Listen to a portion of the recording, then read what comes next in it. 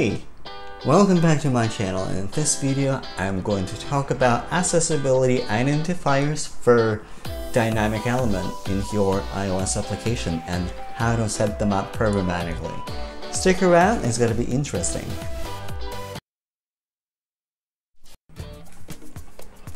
Well, hello there, and in this video, like I promised, we're going to talk about accessibility identifiers for dynamic elements on your application. But before we get into it, welcome to my channel. If you haven't already, please subscribe to my channel and make sure that you click that bell notification button so you get notifications every time I post a new video. My name is Eugene and uh, I talk about software development and software quality and how to make your product better, how to make yourself better, and how to get the job that you really want. So stay tuned and it's gonna be interesting. I post new videos all the time. So let's talk about identifiers. In my previous video, I was talking about how to set up static ID accessibility identifiers for like let's say those buttons. So these buttons are like, they're not really going anywhere. They will be there. It's, it's pretty static elements on my application. So it's pretty safe to provide uh, unique identifiers, uh, static unique identifiers manually. However, if you look at the pictures here, uh, I, if I swipe uh, right and swipe uh, left, uh, and swipe left and swipe right so they will change and I need to find a reliable way to identify them so as of right now I don't really have a reliable way to identify them and if I go to my XCUI test and then I would like to record my actions for those elements so I won't be able to find them reliably. So the query is very long and it's not really um, it's not really testable as of right now. Of course, I can probably use them, but again, it's not reliable. And if, for example, if uh, the uh, sequence of the pictures is changing, I can really say reliably that I grabbed that particular picture or not. So it's not really good and then it's not really testable. How do we provide, how do, how do we make more testable and how do we provide more accessibility identifiers for those uh, pictures? So uh, before I die, uh, before I provide you like the exact solution, I'm gonna talk about architecture, how my app. So like this is my this is my little sample app that I'm working on right now. So as I said, I'm building my own app and I'm just trying to do different things and experiment with different things. Um, accessibility is one of them, so that's that's why. Um, so um, here you see this card and uh, I generate this card in my card view.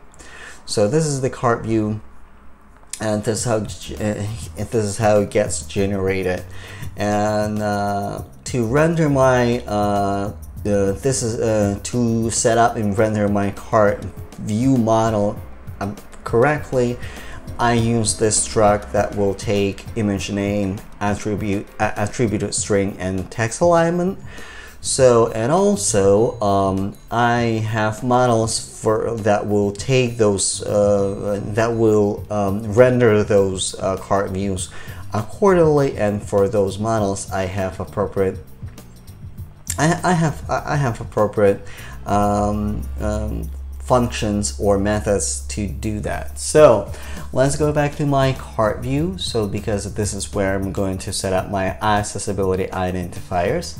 So and let me just uh, uncomment this uh, this bit of code.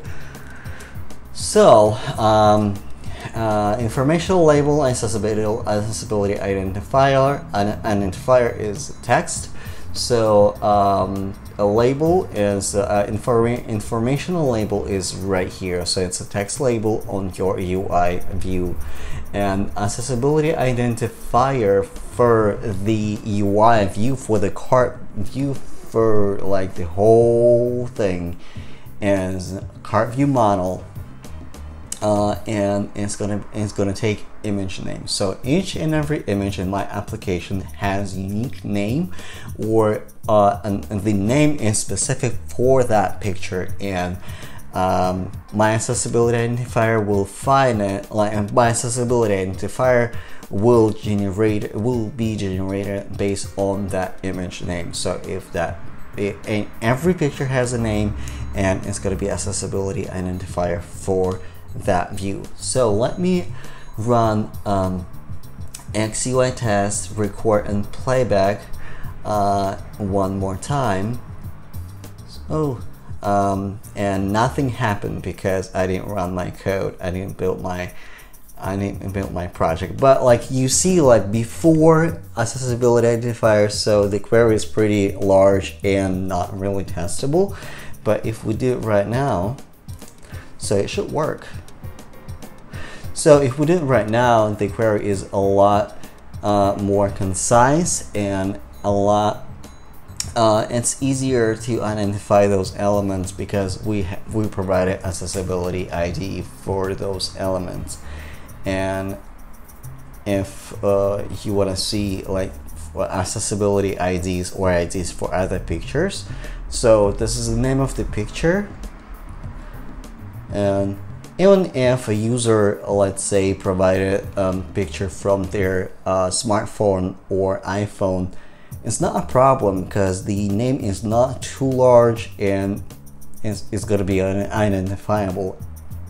So, uh, this is a quick solution how to provide your accessibility identifiers for your project, for your dynamic uh, elements. So I think the secret in um, for that you may wonder like well for your project you have that model and like for your particular project that you're working you may not have um, uh, you may not have that architecture. So how do you do that?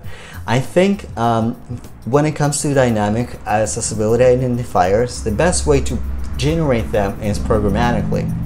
And to generate them programmatically you have to dive a little bit deeper into your code and see how you render that particular um, element on your application. How you uh, how you generate that picture. How do you generate that view how do you um, populate those names and uh, like things like that? So if you know about it your accessibility identifiers will be more will, will be more reliable because they will be there and your test your UI test won't be as brittle.